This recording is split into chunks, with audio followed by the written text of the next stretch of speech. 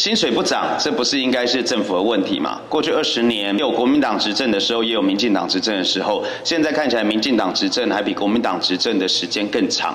那难道这个经济部部长讲的是过去二十年来政府都没有办法把我们国内？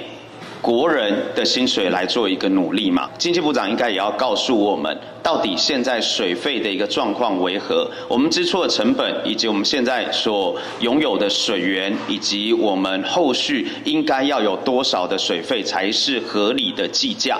还有最重要的是，如果说你真的应该要调涨水费的话，那能不能确保国人未来不会再面临缺水的问题？就像之前我们说过，电费要调涨。如果说你一方面又没有办法保证缺电与否不行，那一方面又要调整这个电费，那不就是会让国人觉得说这样的一个政府确实没有办法符合以及满足国人的需求吗？